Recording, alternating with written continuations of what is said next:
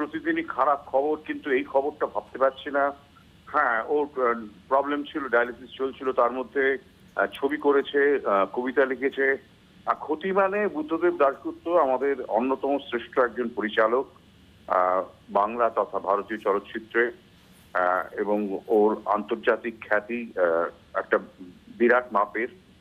আর আমার দীর্ঘদিনের বন্ধু, আমরা প্রায় মানে বলা যায় যে একই সঙ্গে প্রায় শুরু করেছি ও একটু আগে আমি কিছুদিন পরে। দীর্ঘদিনের বন্ধু দীর্ঘ সময় কাটিয়েছি। এই করোনাকালেও কত ফোনে কত কথাবার্তা যে কবে দেখা করব আড্ডা মারবো আমি এখনও ভাবতে পারছি না ভাই। এটা একটা বিরাট ক্ষতি হয়ে গেল। সত্যি আমি ভাবতে পারছি না। খুবই খারাপ লাগে হঠাৎ সকালবেলা না, গৌতমবাবু মানে- ঠিক এই মুহূর্তে আজকের দিনে কোনো স্মৃতির কথা বিশেষভাবে কি মনে পড়ছে বুদ্ধবাবুর সঙ্গে বুদ্ধদেব বাবুর সঙ্গে? অসংখ্য স্মৃতি আমরা একসাথে অনেক জায়গায় বিদেশে ট্রাভেল করেছি।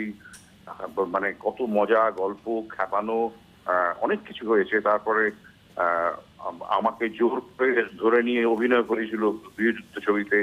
তো আমি পালিয়ে গেছিলাম আমাকে খুঁজে খুঁজে বার করেছিল। এই সব অদ্ভুত সব স্মৃতি খুঁজে খুঁজে বার তোমাকেই করতে হবে এটা। আর যাই হোক মানে আমি স্মৃতির ভান্ডার খুললে অনেক কথা বলতে হয়। এইটুকু বলব যে সুখস্মৃতি হয়ে থাকবে। ওনার অর্থ চলে গেল। কিন্তু দীর্ঘদিনের সম্পর্ক এগুলো নিয়ে হয়তো লিখতে হবে বলতে হবে পরে। যাই হোক মানে ওনার আত্মার শান্তি হোক এই কামনা করি। অনেক ধন্যবাদ।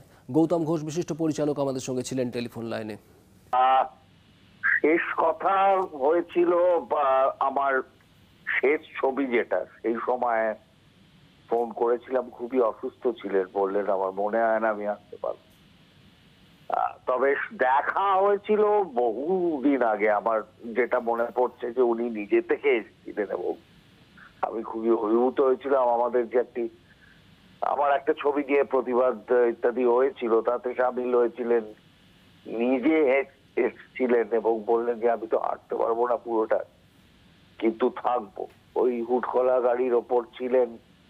আগে ছবি প্রথম আমার আশ্চর্য প্রদীপ দেখতে এসেছিলেন এবং উনি একজন যিনি বলেছিলেন যে, তোমার আগের ছবিটার থেকে এটা বেশি ভালো লেগেছে। যেটা খুব কম লোকে বলছি, বলেছিল। তো সেইটা মনে রয়েছে। আমাদের যেই সময় কলেজ জীবন এবং এই ছবি নিয়ে সিরিয়াসলি একটু ভাবনা চিন্তা, ছবি দেখা আরম্ভ হয়েছিল।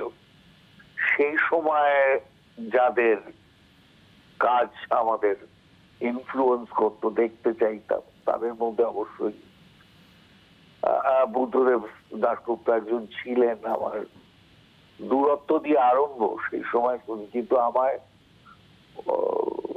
আমার খুব পলিটিক্যাল তখন কস্টা কাবরাস ইত্যাদি তাদের পলিটিক্যাল থ্রিলার ভালো লাগতো। সেটাতে গৃহযুদ্ধ দেখে আমি খুবই অভিভূত হয়েছিলাম।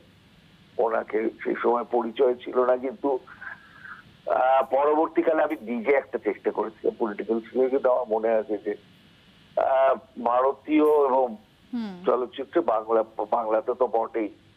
এই পলিটিক্যাল থ্রিলার বোধ আমি প্রথম দেখেছিলাম। পলিটিক্যাল ছবি আগে দেখেছি। বা হয়েছে এবং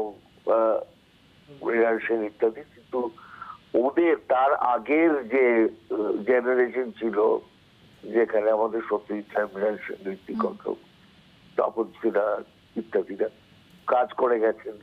তরুণবাবু তারপরে একটা প্রজন্ম যেই সময় যেটা বড়ভাবে আমাদের ওপর একটা ইনফ্লুয়েন্স এসেছিল তার মধ্যে একজন তো বটেই।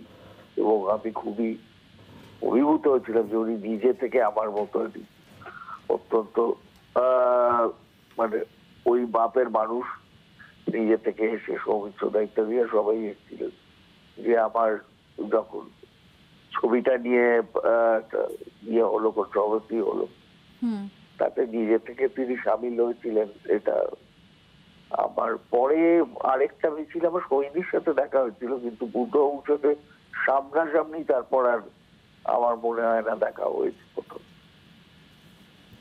অনেক ধন্যবাদ অনেকবাবু আপনাকে আমাদের সঙ্গে কথা বলবার জন্য।